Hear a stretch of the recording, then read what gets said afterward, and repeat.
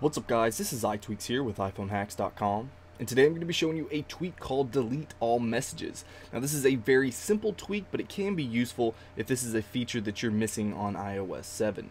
So really all that it does is delete all of your conversations in your messages app and it's really simple to use. Usually when you tap on this little edit button you're not going to see anything over here but once you have installed delete all messages which is a free tweak download in Cydia then you're going to get that delete all button. So you tap done if you don't actually want to delete all of them. If you do, just tap that. It's going to give you a little prompt down here. Are you sure you want to delete all your messages? Tap yes. And then you can see right here that we have no more conversations in our messages app. So a really simple tweak, but if it is something you're looking for, then you can download this from Cydia. Again, it's called Delete All Messages.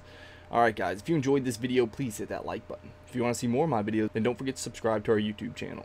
Alright guys, until next time. This is iTweaks with iPhoneHacks.com.